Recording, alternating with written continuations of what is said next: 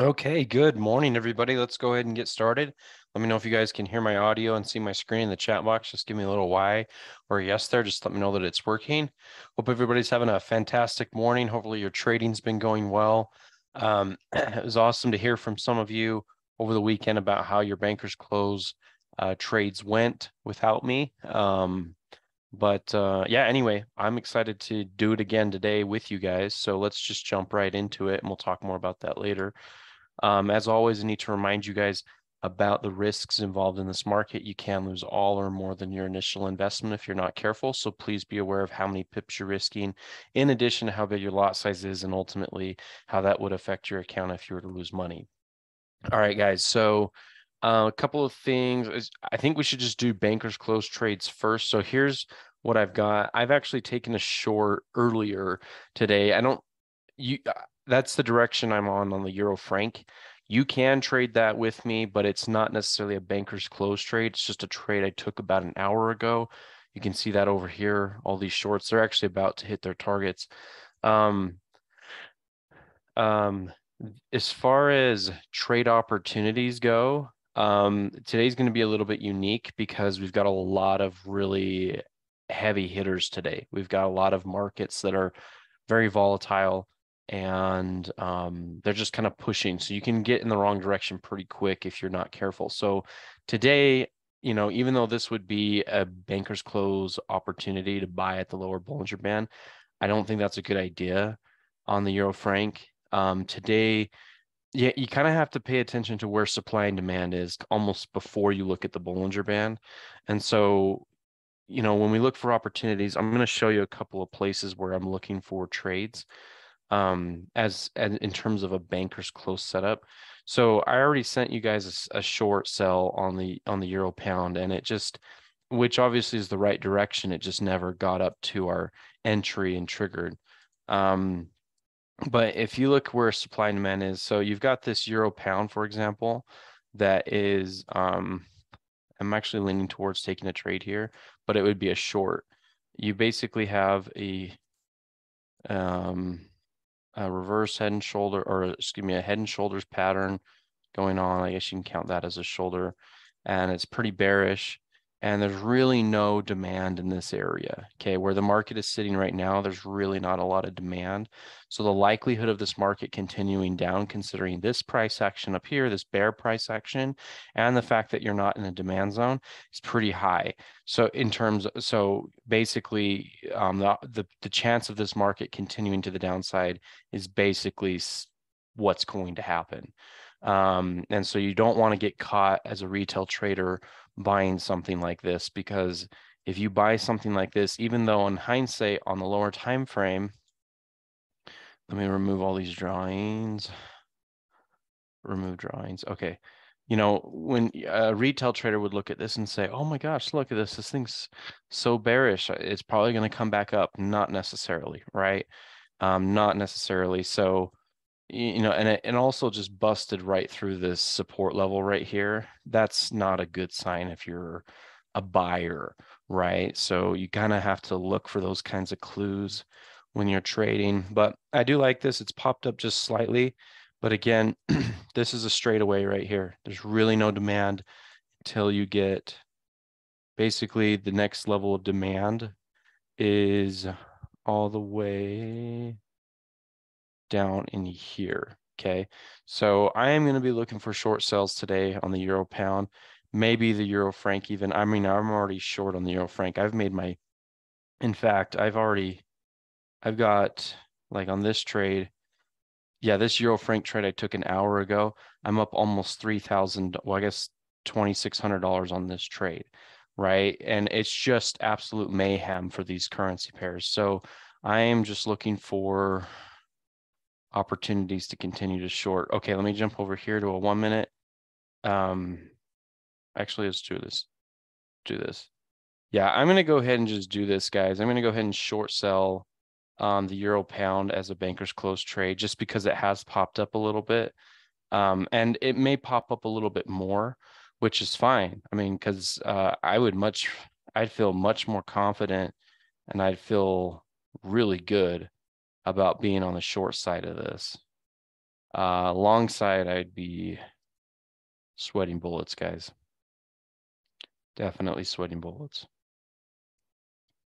Okay, so I just got I'm just got a starter position built up on the euro pound. Um, and again, that is short. Um, and then like I said, I've got some trades over here um, that I took on my own about an hour ago, um, shorting the euro franc, and that one looks to be the most bearish, but it's already kind of played itself out. Um, actually, let's do take a look at that one on a kind of a bigger time frame. So here's the euro franc. This is a one minute chart. It's so bearish. Price action is just lower high, lower low after lower high, lower low. It just keeps it just nonstop, absolutely crushing. And even this, this actually just hit this support right here.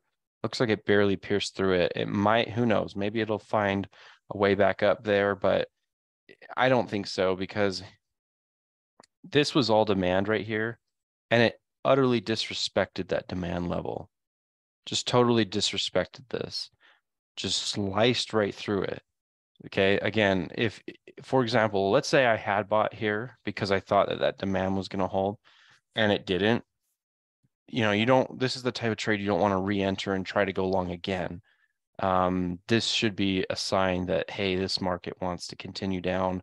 I mean, also there's a lot of other things. You look at this euro pound, this is on the 15 minute chart.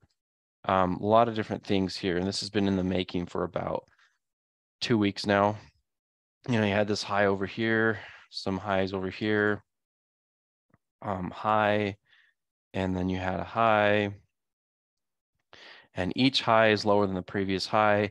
And then subsequently, we're breaking structure levels like right there. We broke this structure level right here. Um, just continue to break below that. And it looks like we're about ready to just break this one too, right?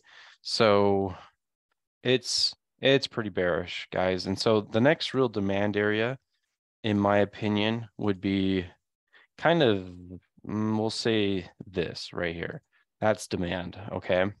And I guess we are getting pretty close to it, but I would imagine this market, if it disrespected this demand like this one up here in the way that it did, I don't have a lot of confidence in this one down here. Okay. And it'll probably go quite it'll probably go through this one pretty hard um let's see is there is there any other clues we can get let's go into a higher time frame any other clues we can sneak out of here? I mean there's also demand down here. I don't know if it'll go that far but who knows? I mean the thing is it's hard to say that this demand would hold up in, the nearby area because of how bearish this price action has been up here and the number of structure levels that just keep getting decimated one after another. So, I mean, I don't think it's a good idea to trade every single supplier demand that you see. I think it's important to find the specific ones that make the most sense. Okay. So, okay. Anyway, so there's that one. Let's go back and look at, oops, let's just delete all of that stuff. Let's go to the euro pound again. Okay, so this one I like probably a little bit more because I think it's earlier on in its bearish traje trajectory. Okay. Oh, the other thing too, guys, that helps me figure out which trades to take is go look at client sentiment, right? Go look at either Daily FX with IG, Oanda. You know, there's a lot of different places where there's sentiment indexes that you can look at. The reason why I like this one is um, technically I'm not supposed to use this. They don't want US citizens using this. I don't know why. I think it's because they offer brokerages that are not US regulated, but nonetheless, their tools are really nice. So I just say I'm not a US citizen.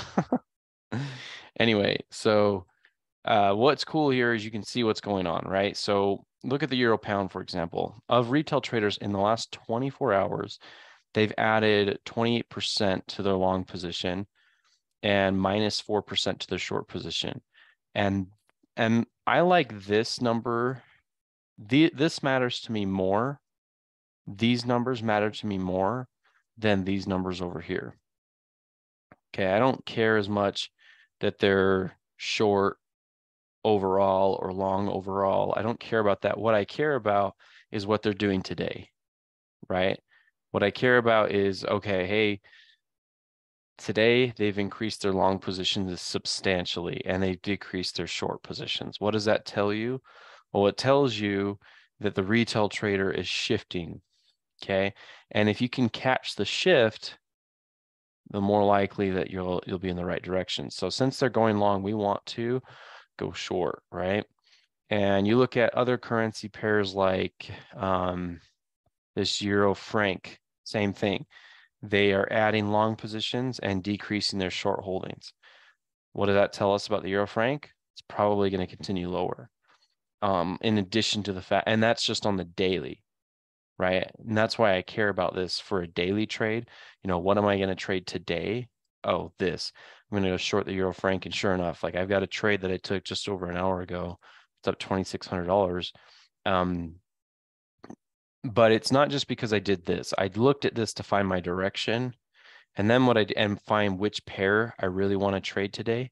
And then what I do is I come over here and I'm looking for, if for example, if I go back to the euro franc just for a second, um, I'm looking for specific supplier demand zones that make sense. So I sold today on this euro franc um, I sold like right here. Um, and why did I sell there? Why did I sell there? It's because um, it was basically pulling up into this supply area. Okay. This little thing right here. That supply area, it was pulling up into that. Meanwhile, most retail traders are buying this and it's pulling up into supply.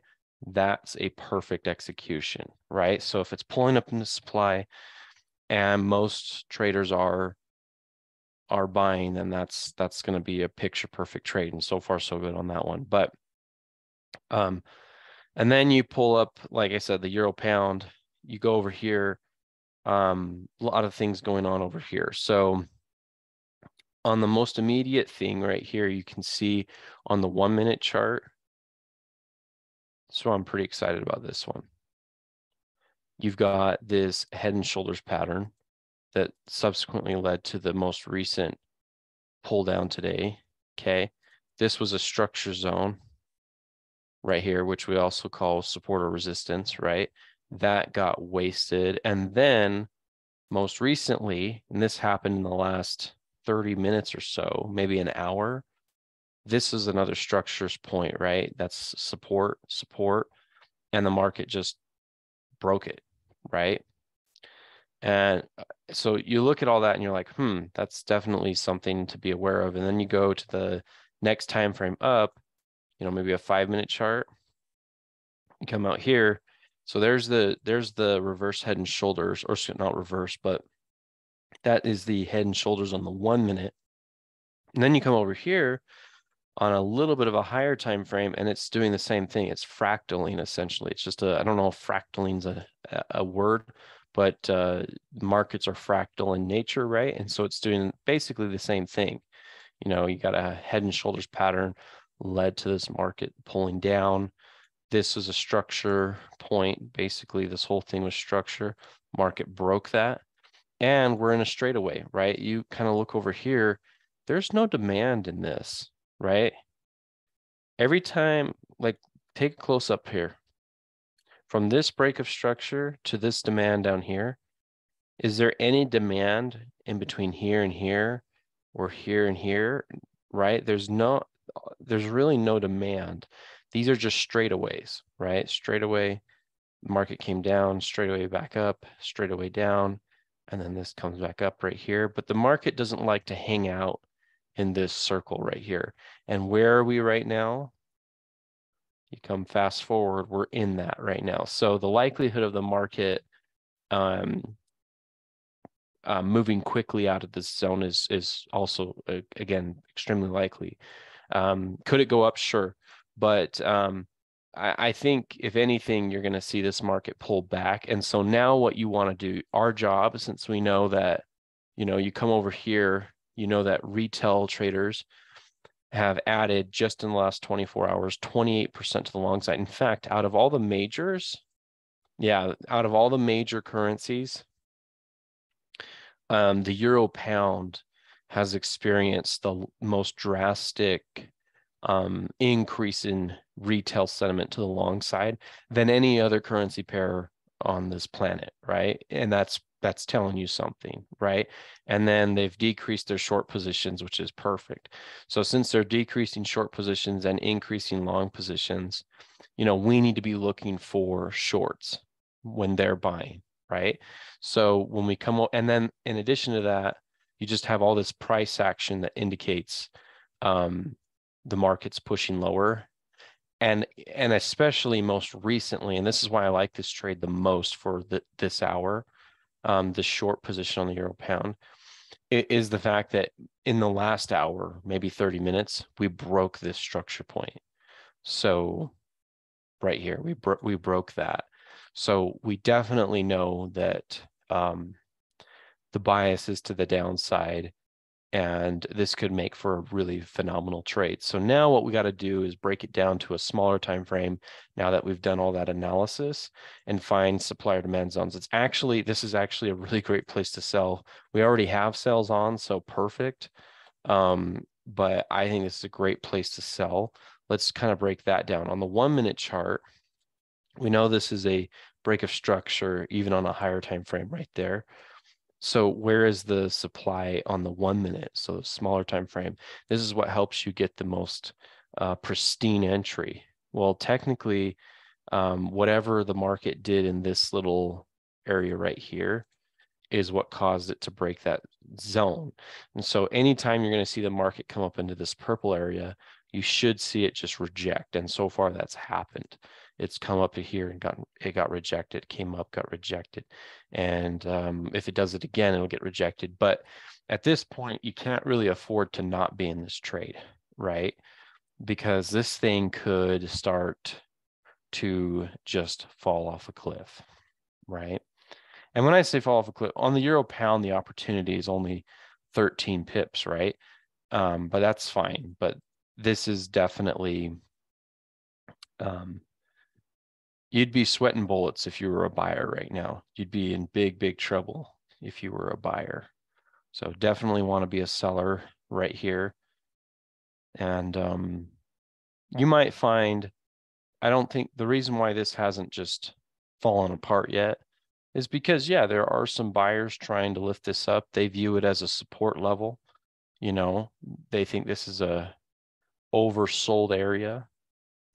Um, which by the way be very careful with indicators and people who tell you oh the market's oversold or overbought.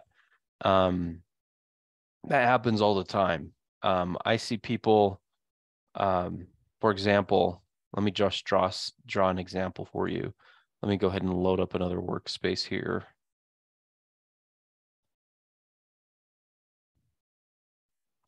Well, a good day Dick guys. It's going to be a very good day um, it has been a good day and it's going to continue, I believe. I think we're in the right trade, definitely in the right trade.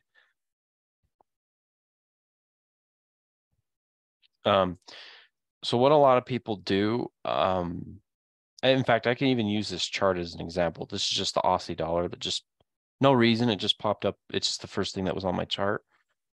What a lot of people do is, you know, they see this market coming up and they'll say, oh, it's, it's, uh, it's overbought right? It's too high. Well, you know, it's too high right here, but then the market just continues higher, right? And they say, oh, now it's overbought. Uh, but it, but I thought you said it was overbought over here, and now it's overbought here, and then it goes up again, and then they'll say, ah, oh, it's really overbought, and it's like, but you said that the last three times or four times, right? So what I'm saying is a lot of um, Th- this actually happened a lot to me. I think I told you guys I, I used to do uh, like I was in real estate and mortgages and stuff. Um, a lot of new buyers would say things like, you know, I'm going to wait for the market to pull back or something like that, or I'm going to wait for a slowdown. Um, and all this time, you know, I had people people would say this back in like, uh, you know, 2017, 2018, 2019. Say it's uh, you know, it's it's overbought. Uh, whoa, that's a big mistake because prices today are way way higher. In some areas, double what they were just back in 2018 or 2017, and um, those are the same people who are saying it's overbought today right? And i'm not saying it is or not i'm not saying that it is today or it is. I have no idea but usually people who say things like that in the market are the ones who get burned because they stay out of the market right? So for example when we're trading this euro pound we use that same concept. Um, somebody who doesn't understand these types of principles would come here and look at this chart on a one minute time frame and say oh dang that's oversold. That thing's just going to go up we're just going to see a huge move up to the upside because it's so oversold or something like that. Um, and they're dead wrong. They're they're dead wrong. They're absolutely wrong. And and to their surprise what you'll probably see and this is my prediction is either you know maybe this thing comes up just a little. Maybe it comes up and tests you know a little demand or or a supply up here and then it's just going to get decimated right you know that's kind of how i would view this today or it's just going to go right in our favor right?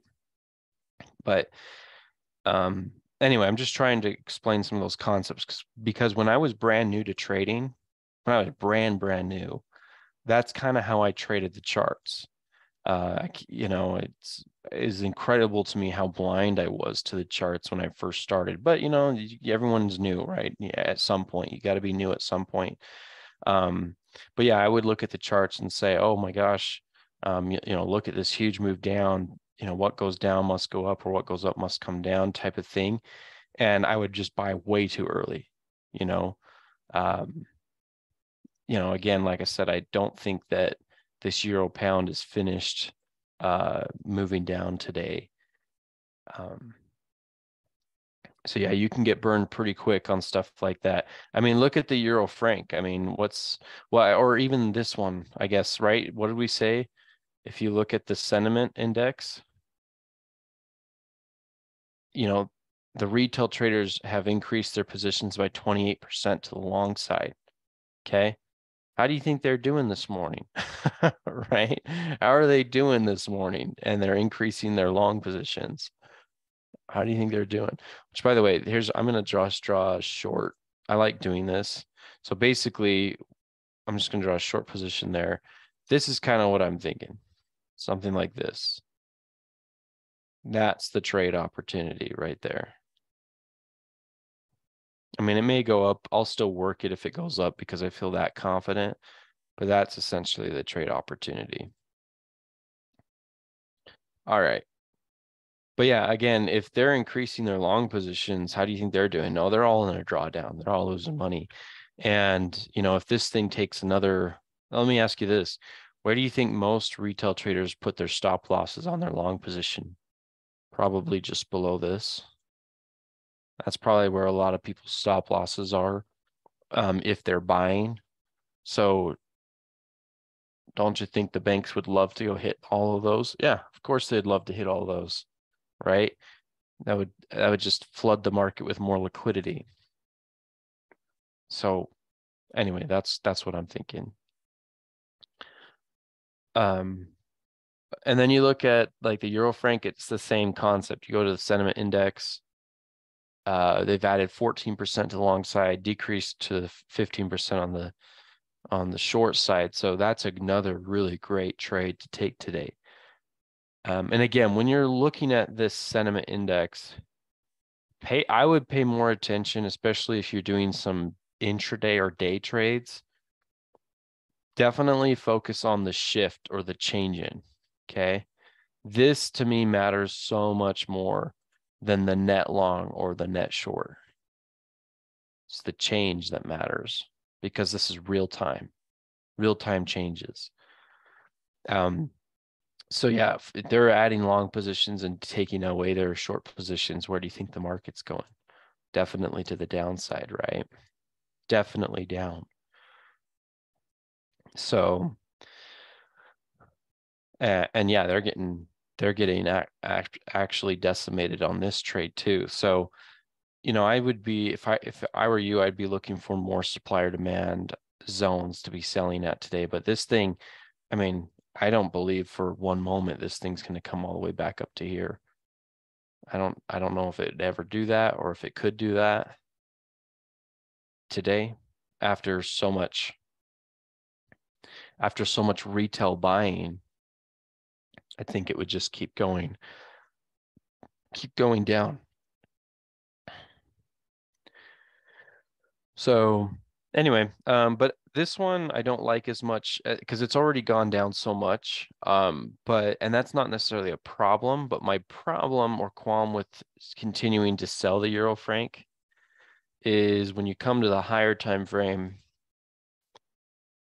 Um, I guess it is coming in close to some to some demand. Granted, it did just bust through this demand level, um, so it may just continue lower. But if anything, it might run into. I think the move's mostly over. That's all I'm trying to say. So that that one, I mean, I probably should take my profits on my euro franc trade. In fact, I think I'm going to do that.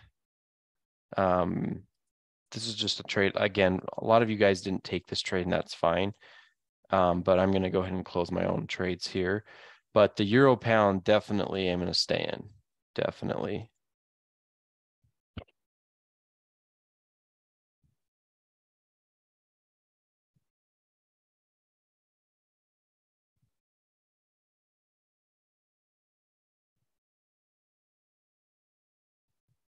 Got a lot of limit orders. I was trying to sell if it went up a little bit more, trying to get some better prices, but obviously it just went per down perfectly. So I'm going to close these two. And then I'll just be left with my euro pound shorts right here. And this trade is going to go, let's see, how far did I say? There's technically, to me, the way I'm viewing this, this is kind of the demand right here that is worth holding on to. Or excuse me, I think the market will definitely go to that area, which is minimum this trade, I guess it has, I guess I could say it has about minimum 15 to 20 pips to go. It could go further for sure, but um, I wouldn't take profits, guys, unless you've made at least 15 pips on each trade.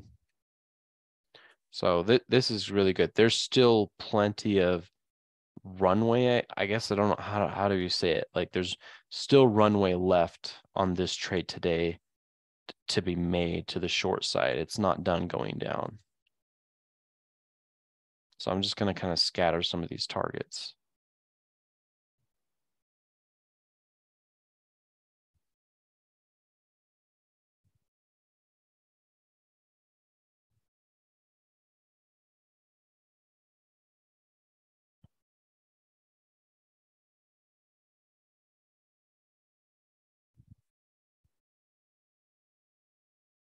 Yeah, this looks good to me. This area right here looks perfect. So that's what I'm hoping, and that's what I'm hanging on to this morning.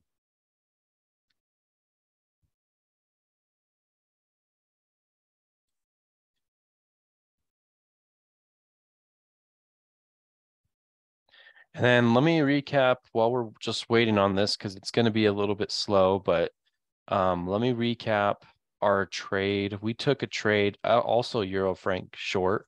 Kind of wish I stayed in it, but um, this is a trade we took on on um,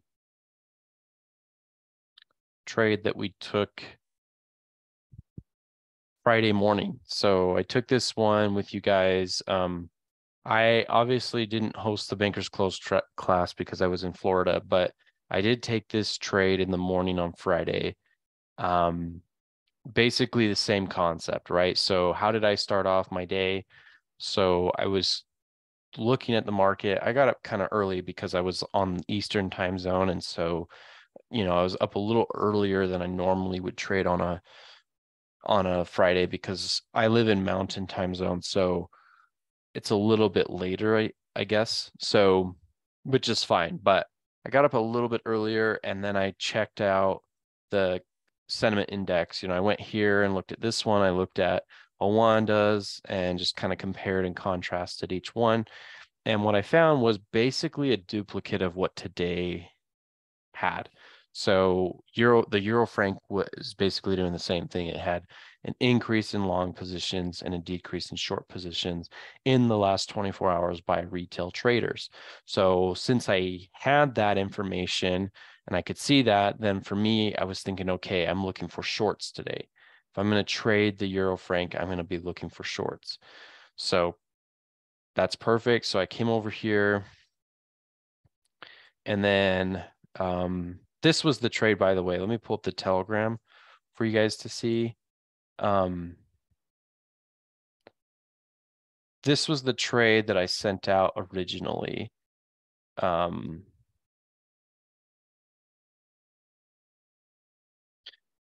so yeah, here Euro franc on a five minute chart. And basically the market had come down and that came back up, formed kind of a supply area. Um, so I felt pretty comfortable thinking, you know, if the market were to come back up into this little supply area in the midst of such buying pressure by the retail traders, so trader, what do we call it? Trader John's, trader averages. Trader average was buying this on Friday. So I knew or I had a pretty good idea that if it came up into some supply, um, then there would be a continuation to the downside right? So this was the opportunity. And then this was it right here.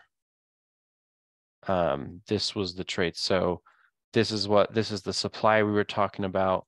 So we put in a short position to sell basically when it came up into this supply right here. And then you just put a stop loss at the end of supply and then you just ride this all the way down to the next demand.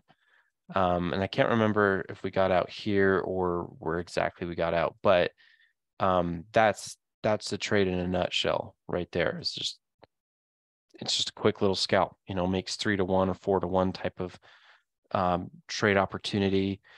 Um, you know that the retail traders are buying this. So if this were to come up and hit any somewhat significant level of supply, you should see the market come down. So this is how you get sniper like opportunities to to trade every day right sniper like opportunities to buy and sell so today um, what i did is i did the same thing on the euro franc and i tried to do it with you guys the euro pound but the euro pound just went down too fast. Um, but today what i did is the exact same thing. So this thing was just coming down coming down coming down. And um, I saw this little supply area right here. And I just essentially placed a sh short, a, a sell order right there, stop loss above the supply. And then I just rode this down. Right. And that's how you get really good risk management type trades, you know, reward to risk ratios that are awesome. So kind of the routine is make sure you know where the which which trades have the biggest change in retail sentiment daily go look at those pairs identify on a one or five minute chart where those supplier demand levels are and then just follow proper risk management put in a three to one four to one type of opportunity. Um yeah that's perfect. I also this morning did place another trade on here that never triggered. I actually did place a, a, a short right here with a tight stop loss here because I felt like this area was a good supply and that one never triggered, but it, nonetheless, it was there. I just felt like this little, it looks better on a one minute chart You can see it. Here we go. Let's go over here. There it is. I just felt like whatever happened here kind of caused this breakout. So I felt like this was a good area. And I think it was. The problem is the market just never could get up to it. It, it got pretty close right here for the sell, and then it pulled back. It just never got there. So you kind of have to play with the entry a little bit, I feel like, um, and look for those trade opportunities. And then let's see, other opportunities today. I guess there's some areas up here you could consider, but and then as far as the euro pound goes, this is a trade I took with you guys. Obviously, we're in it now, but I've been trying to find an even better entry for us. So the trade I took with you guys earlier, and this was about an hour, maybe two hours ago now. I placed a short position, which I still have open. I just haven't closed it yet. Basically, this is a really solid area right here. So this is a nice supply area on a one minute chart. Okay. It broke that area. Well, I guess it didn't break a lot of structures. Um, it just broke its own little structure that it created was right here. So I was thinking, okay, since we know that most retail traders are buying this, um, this would be a great area to sell at. So, and it did get close, you know, it got probably within a pip away right there, got really close to, to executing the sell. But again, you're looking for sniper like entries like that. Um, and not all of them are going to trigger. Like this one didn't quite trigger, but nonetheless, the concept is there. And I want you guys to learn how to tr- find those concepts. Um, this one, again, kind of like the Euro franc, just fell apart so quickly that when you get a chance for the market to go up so that you can sell at a better price, that opportunity is just so quick. It is so quick and so gone because everyone else has their eyes on sell any well the big money has their eyes on selling it right and so anytime it pops up they're like oh i want that price oh i want that price so sometimes it doesn't even quite reach the supply because somebody's willing to take that trade before even we can get to it you know we, we're looking for the more traditional okay this is the supply zone i would rather tra- take the trade there but just a pip shy somebody else hopped on it before we could. So that's how competitive the market is sometimes. It's very competitive. Um, and so they're the ones that ended up winning and we didn't make money or lose money really. We're, I guess we're making money now. It's starting to go down again, but the real money was made on that little move right there.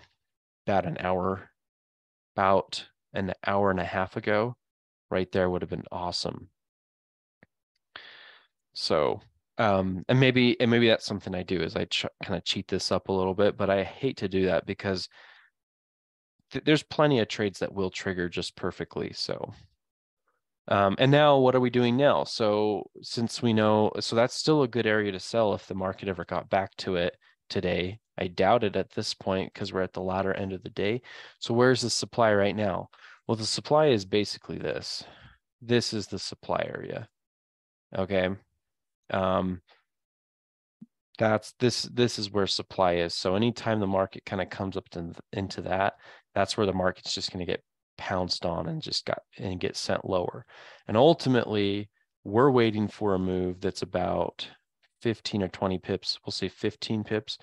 We're looking for something down here.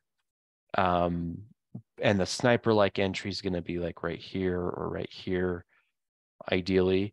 And again, this is the type of thing where you can place that short position, plug in your stop loss, and then just ride like that. And there's your four to one re reward to risk ratio trade, right? And it all starts with knowing where retail or dumb money's trading today. So you know where dumb money's going. You know that this pair, I think especially this pair, I think either the euro franc or euro pound are great contenders, but we know that retail traders are buying this, right? And so basically our job is just to find those pristine entries after we know which way we're going to go, and then we just go from there. But sometime this afternoon or sometime this morning, this will should break this support area should break and when it breaks it's gone it's gone. Um, or what you might see is it may come down, it may come down, come back up, and then you're just looking for another entry you could sell again when it hits some supply because this technically supply would technically this is the current supply we're working with is this area. But in the future if this does break down i would consider maybe this to be the new supply and you can kind of condense that maybe this whole thing right here. And then you could do another re-entry when it pops back up right so you're constantly working that trade working new opportunities within this pair but no longs today i don't care how enticing it might look we don't take any longs with this pair today um, not when dumb money is um, buying like they are right now. I know how dumb money is. They're thinking, oh, we're at support right now. Uh, you know, we're at support. This is going to be a great area to buy, great area to buy, right? And it's going to go up here. My wildest dreams come true. Eh, wrong. It's not going to happen, guys. right? It's it's the floor is going to come out and it's just going to keep coming down. So, I mean, sure, maybe the retail trader catches a little bit of a break and it comes up a little bit, punches back into this supply zone. But again, ultimate its ultimate fate is to continue down, uh, is to continue lower.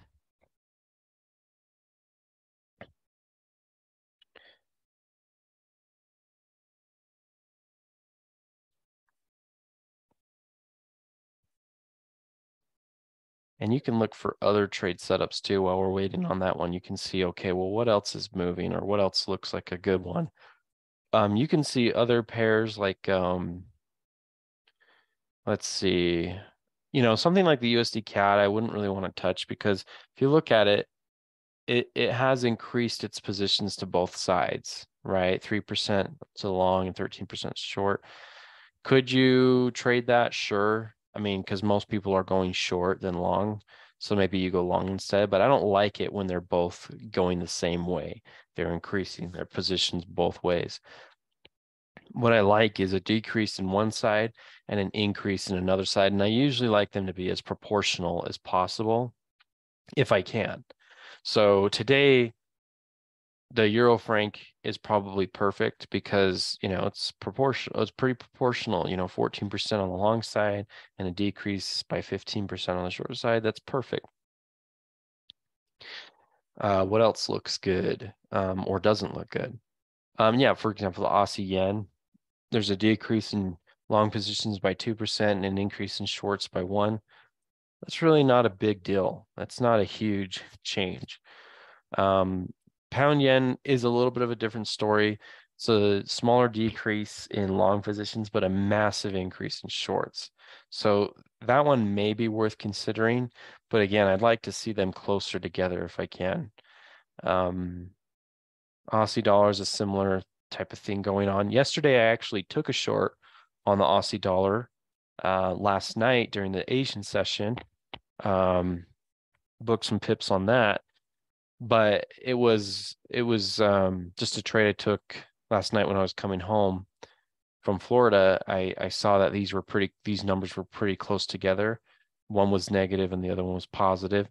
I took a short position, so that what that means is there was an increase in longs and a decrease in shorts because yeah because they took a short so um and this was good i took this trade um, on the Aussie dollar. It was, well, let's see, it was back here. Um, oh yeah. Some somewhere over here I took a short and uh and uh, yeah, ultimately worked out. Um, it looks like it's back up this morning, but yeah, it was good. And it was all because during the Tokyo session, um, I, I came over here and it was the most imbalanced uh, currency pair out of everything that we're looking at, right? The Aussie dollar, and it was also in session. So I saw that most people were buying, and um, in terms of retail traders, and they were also selling at the same time. So, or excuse me, they they were not selling, they were buying and they were decreasing their selling, which for me is a signal that I need to do the opposite. And so all I did is I just looked for supplier demand areas to to take that short which I think I used a combination of like this right here because whatever happened here and here are basically whatever created this break of structure down here. So this is a structure point.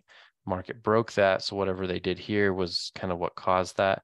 And then same thing up here, these highs are what kind of sent the market lower. And so that was a great place to sell. And sure enough, that's a good supply area. Anyway, so that was the trade I took yesterday. I'm just showing you just for fun, just to show you the concept. So you can trade this in the Tokyo or Asian, or, or um, you can trade this during the New York and London overlap. Definitely. Let's see, what are some other options for us today?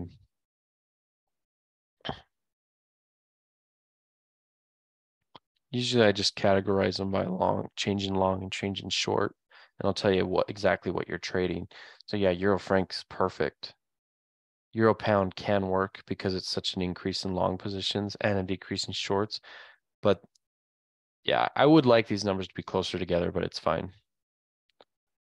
And then yeah, everything else just really isn't touched too much. Unlike the euro yen is mixed because, you know, it's an increase in longs and also an increase in shorts. Yeah, that's kind of confusing.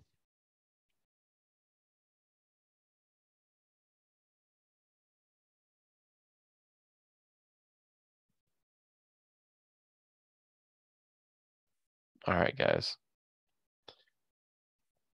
So right now we're just bouncing off of um, we're bouncing off of this support and we're bouncing off of and getting rejected from this supply, right? That's the current narrative on the euro pound. And that's just kind of what happens at this hour because, you know, New York, uh, not New York, London closes in about 10 minutes.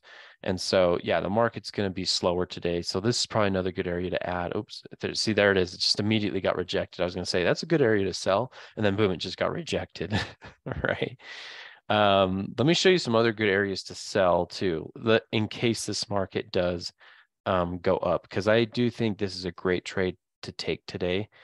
Um, technically, whatever happened like right here is what caused this break of structure, right? And that's really the those good good areas. So I would say right there's another really really good selling area. And then the same area I texted out on Telegram about 30 minutes ago. So this is or an hour ago, I guess. This would be another really good selling area too. Up here, maybe specifically that right there. But yeah, let the let the little retail traders have their little buy right here, get them excited. Um, if maybe who I don't know, it's already pulling back again, but again, ultimately the the sell is the the right idea with this trade. Let me hop over there.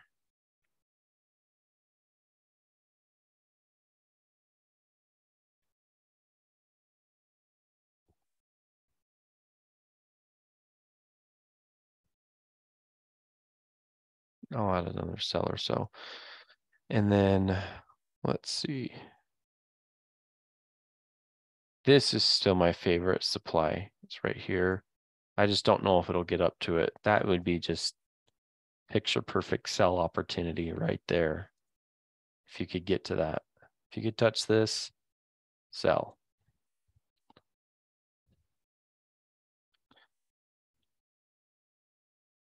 And yeah, there's some smaller opportunities along the way.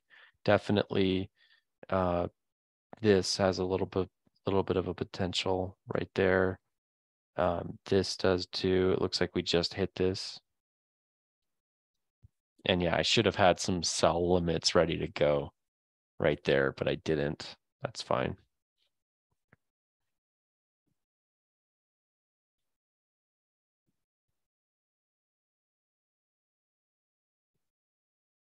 I guess I can place them anyway. Let me go ahead and place a few sell limits up here just in case it comes back up. And then, yeah, some up here would be good too. But this area I'm really excited about. So I'm definitely going to layer up big time up there if it got to that. I don't think it will, but you might as well have them ready.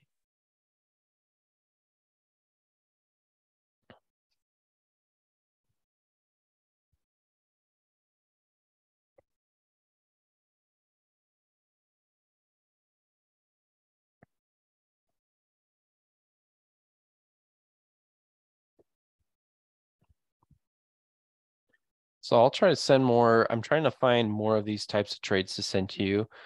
They're the as you guys know and as you've seen in these examples I've shown today, they they're so not limited, but they happen so quickly, right?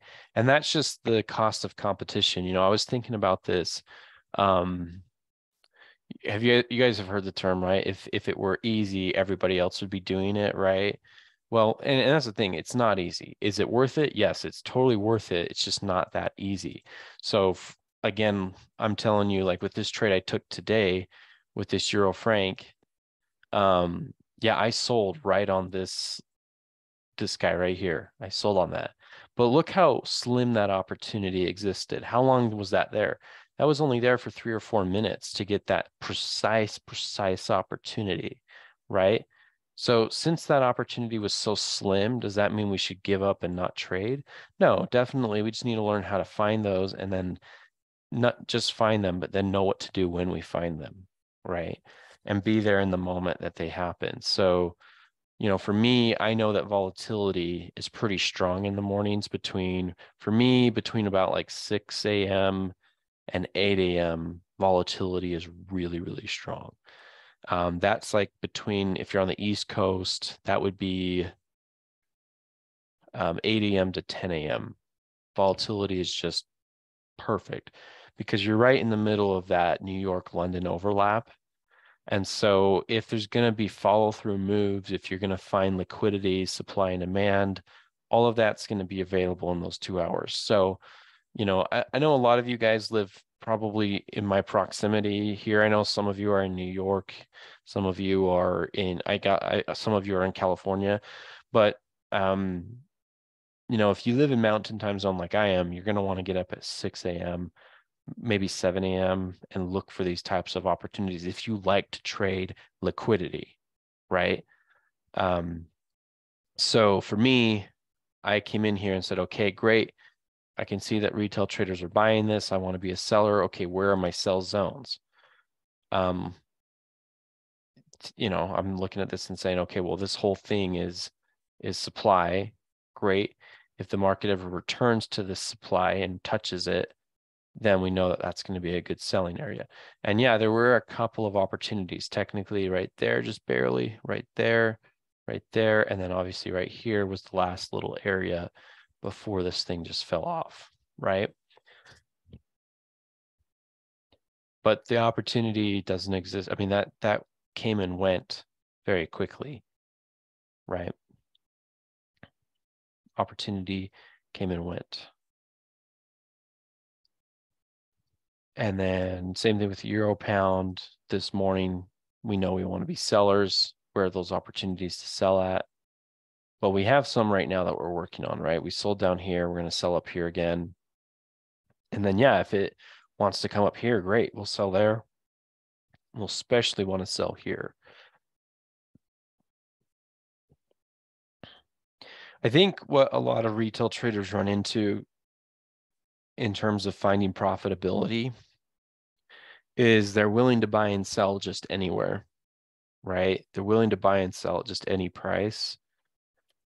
And unfortunately, if you're just buying or selling at just any price, then what happens is uh, you're not going to get the reward to risk ratio you need to be profitable because you're just selling at and you're, you're you know what i'm trying to say is if you're if you come over to retail sentiment and you see oh hey most people are buying so i'm going to sell today boom just throw in a sell I don't think that's going to make you profitable. Maybe, I mean, depend, maybe you do a couple of things, kind of change the way you do some some things, you might be profitable doing that.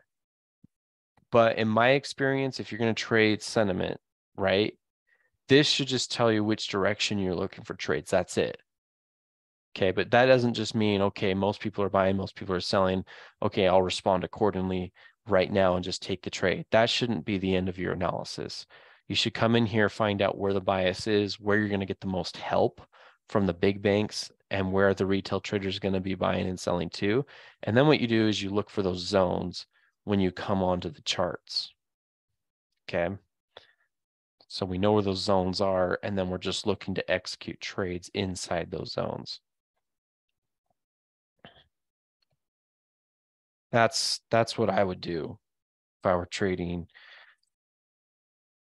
That's yeah, that's what I would do if I were you. Just kind of looking for those kinds of things because again, like I said, most retail traders will just buy and sell wherever. Like, oh, I have a buy button, I'll just buy. Oh, I have a sell button, I'll just sell. And I don't think that's good enough. Um, because I've been there, I've done that. Um, and here's what happens to just real side side side note. If you take a trade, let's do let me give you an example. Let's just say remove drawings. Let's say we know we're supposed to be selling today. So you just sell right here. And you know, you put a stop loss up here, maybe a target down here, you know, one to one type of reward to risk ratio. Can that work? Yeah, I, I think it can. Uh, yeah, it definitely has the potential to make you some money. Um, it's very simplified version of trading when you're just trading solely off of the sentiment and then using a one-to-one reward to risk ratio type of thing. Yeah, it's possible to make money doing that. Um, it's a very quick way to do it. But here's the problem with something like this. If your stop loss is so wide, if you have such a wide stop loss, um, what ends up happening is your lot size, your lot size goes down right? So if I'm taking a trade, for example, like this one that I sent out earlier, which is still valid, you know, if the market comes to here and I have a stop loss right here because that's a good place to put it, and I pull my target down, you know, something like this, all of a sudden I have a five to one reward to risk ratio trade.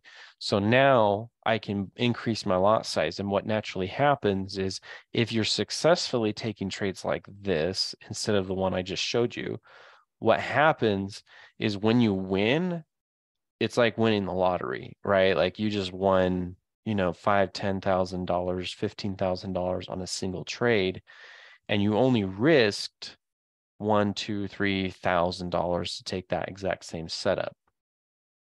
Right. The downside that a lot of people run into, and I've definitely felt this as well, is when you take these types of trades, what inevitably happens is you have more losers. So you will take more losers because you have such a tighter stop loss and a bigger take profit. So you are going to have more losses, but those losses are going to be much, much smaller than your profits but it's so hard to deal with as a i feel like as a human because we want to win.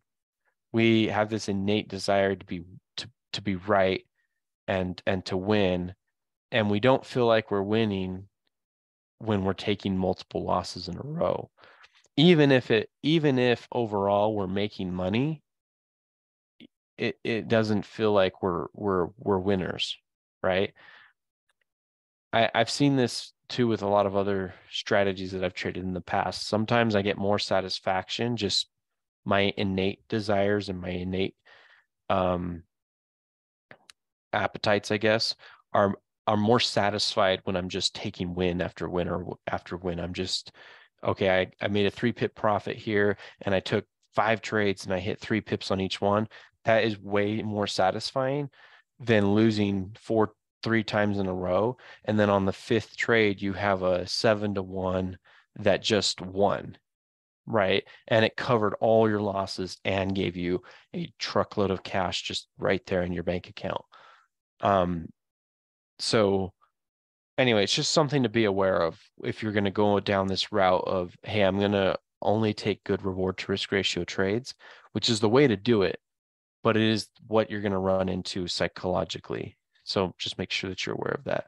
All right, guys. So here's what we're going to do. So I got a good, we've got some good trades here. I'm actually going to add one more to my, just add another sell there. And then the next really good areas are up here. So I'm going to go ahead and sell up there if we if we can get to those. I don't even know if we can, but I'm still banking on breaking this support sometime this morning. Maybe we'll see if we can get to it. If not, you know, I'll probably close some of these out later. Maybe if we get back down to this support area, but we don't break it, I'll take my profits on these or most of my profits and we'll just go from there but yeah, you guys will get an update from me on Telegram. So just keep an eye out on the Telegram and uh, um, and then I'll let you know what we're doing with this trade. So, all right, guys. Well, I appreciate your attendance today. Thanks for coming. I'll see if I can get some more trades out this evening for the Tokyo Sydney session. If you guys are interested in trading that. Um, other than that, you'll just get an update from me, and we'll see you guys tomorrow on the next Bankers Close webinar. Thanks for coming.